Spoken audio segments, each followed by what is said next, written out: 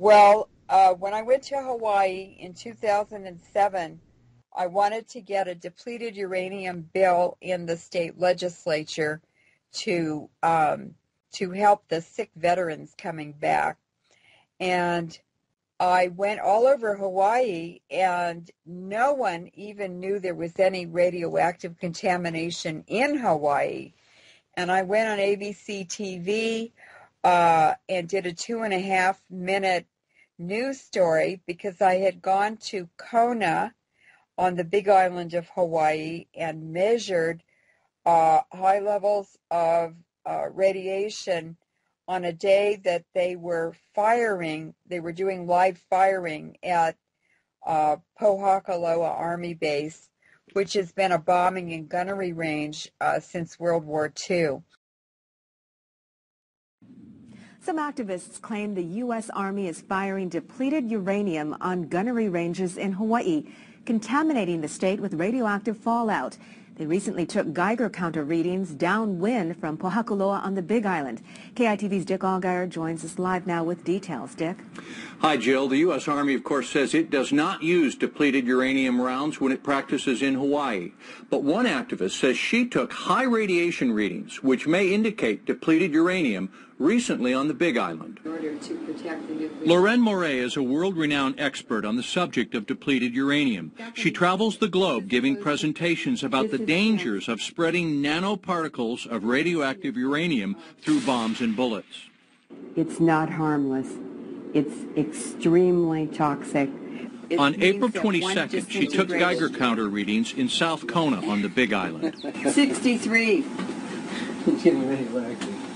This is very, very alarming. Normal background radiation would be 5 to 20 counts per minute. On this day, she says she took readings of up to 93, which experts say is abnormal and quite high. That is horrendous. And it could only be because they were doing live fire with depleted uranium at Pohakuloa while we were doing the measurements. Leuren Moret claims the Army is using depleted uranium on the Pohakuloa firing range, and the wind is blowing radiation over South Kona. The Army insists it does not use depleted uranium in Hawaii. Dr. Lorrin Pang is a public health official in Hawaii. In this interview, he says he is speaking only as a concerned physician. regardless of what it is from, it is high. It has to be looked at.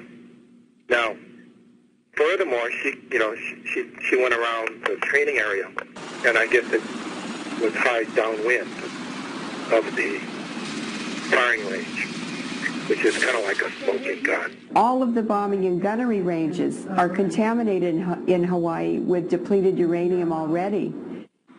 Now, there has been a bill at the legislature that would require testing for depleted uranium near targets at Schofield Barracks.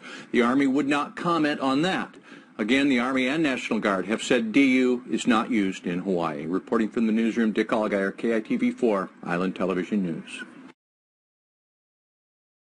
And um, there, the day I drove through the base, you have to drive through the base to get from one side of the island to the other between the volcanoes.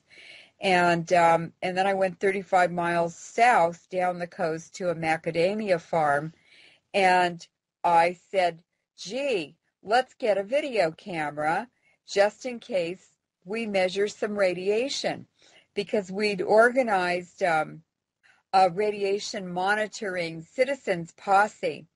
And I had people going all over the island measuring the radiation. We'd go off in cars, six or eight or 12 cars, and um, do it together sometimes. So I ended up down on this macadamia farm. We'd bought a, a video camera on the way and some film. And um, so we're standing there on the deck looking out at the ocean and listening to the whales. And I said, gee, I'll, I'll flip my, my uh, Geiger counter on now. And I almost dropped it because it went up to uh, as high as 90, over 90 counts per minute. Uh, and usually it's about seven. And I uh, just about had a heart attack. So, um, we filmed it and I called uh, Dick Allgire, who is um, a radio I mean, a TV anchor at ABC TV in Honolulu, and he'd heard me on the Jeff Rense program, and he said, "If you ever come to Hawaii, I'll do a story on you." So I said, "Dick, I'm in, in Kona, and this is what I got today." And he said, "Did you film it?" And I said, "Yes." He said, "Get on a plane and come over right now." Well, all of the of the Hawaiian Islands are completely radioactive from uh, simulated nuclear bomb testing on uh, different islands, on uh, nuclear rockets they were launching from one of the islands. Um, they were shooting um, the, let's see, it's called the Davy Crockett. It's actually a mini nuke. It's a shoulder nuke but they used uh, depleted uranium in it instead of actual nuclear weapons because you don't want to shoot nuclear weapons where you live and uh, off the battlefield.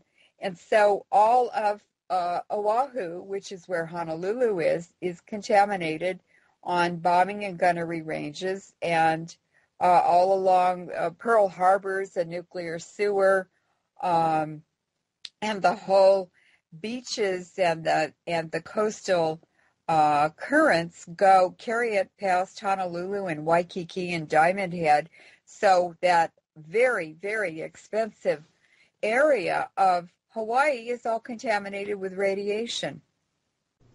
Well, and now they will have um, problems with the ocean releases from Fukushima, which when I interviewed uh, Dr. Christopher Busby in June of 2012, he indicated to me that the contamination from Fukushima had already reached the beaches. Oh, That's yeah. not to be confused with the tsunami debris field, which is traveling north of there, and once it hits the west coast of Canada and the U.S., it will curve back around and eventually end up in Hawaii as well. Hawaii is going to have some big problems, and some of that is already showing in their coral they have fish and turtles that are exhibiting lesions, and I've had reports from people that live there and do a lot of scuba diving that the reefs are in big trouble. That's the Fukushima radiation, and um, it's of course, as I've mentioned, radiation has a cumulative effect, cumulative effect, and uh, I noticed when I was going to the Hawaiian legislature every day on buses to, uh, I was staying in Waikiki, and I was noticing on the buses every day going back and forth uh, that it was the sickest population I've ever seen anywhere. People were pushing uh, adult children with uh, completely neuromuscular problems. They couldn't even walk. Uh, there were people getting on dragging air oxygen tanks. Everybody was walking with canes, and uh, it was just horrible to see that. And I said, "What in the world happened here?" Well, I figured it out finally. The um, U.S. and Britain did nuclear weapons tests and biological tests and chemical tests with different weapons on Johnston Island and Christmas Island that um, it, they're less than a thousand miles upwind to the west from Hawaii. So Hawaii was getting nuked and it was mixed with biological agents and chemicals.